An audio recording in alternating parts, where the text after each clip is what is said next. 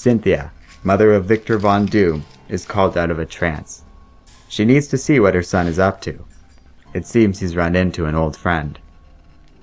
Victor and the Thing duke it out, destroying Amara's apartment before clashing in the streets. Amara remembers nothing next, only waking up in a mysterious room. She goes outside to meet up with Victor. He took her here, a remote and safe location within Switzerland, and apologizes. In the eyes of S.H.I.E.L.D. and the world at large, they are now connected. Doom never intended that, but he has inadvertently uprooted her life. Amara says that since he just ruined her life, the least he can do is explain himself. Why is he no longer Doctor Doom? Why is he suddenly so obsessed with replacing Tony Stark? Victor pauses and decides to tell her everything. He tells her how he was a god, how he controlled the entire universe. And then he tells her how he failed. He created a universe in his image, ruled unchallenged and with complete power. And he failed. He was brought down to earth on his knees and decided his entire life, his entire purpose, his never ending quest for power was all for nothing. So he began a more noble pursuit. A better one, hopefully. One with the goal to protect as opposed to conquer. He first went to Tony Stark because he admired the man. And then Iron Man fell. Doom knew it was all a sign. A clear path laid out before him. He would become the Iron Man. So that's the story. Amara doesn't take it well. She says that Doom is a monster and that nothing he does now will change that. Victor says that's okay. He's not seeking redemption for his past. He just wants to do good now.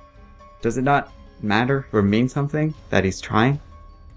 Frustrated, Amara demands to be sent home and for him to leave her alone.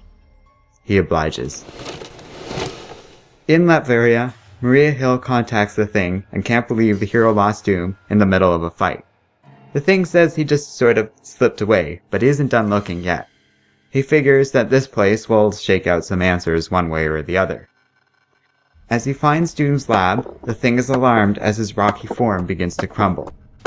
So this is the man that's been giving her son a hard time all these years. Such a naughty boy.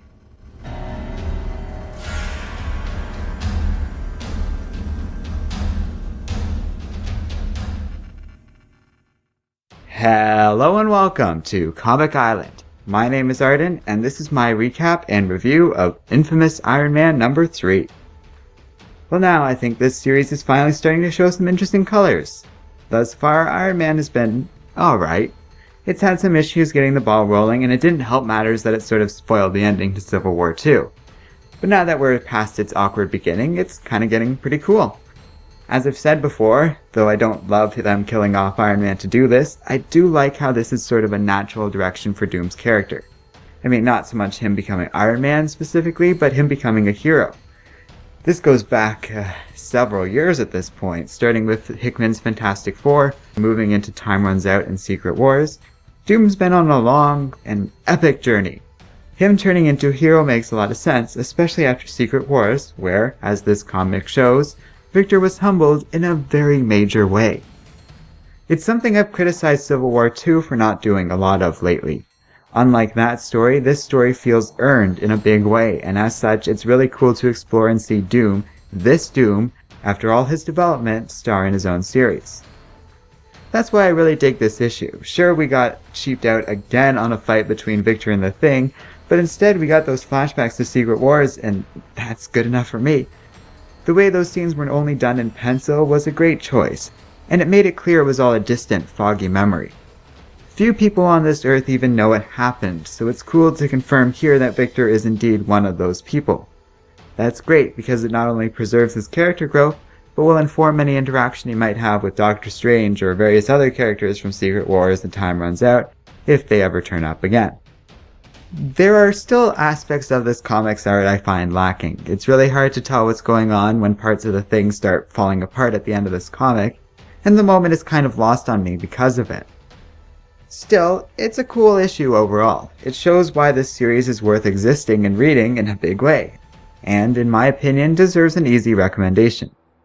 Let me know what you think in the comments section below. Also, if you like Comic Island, consider supporting us on Patreon. You can find the link in the video description.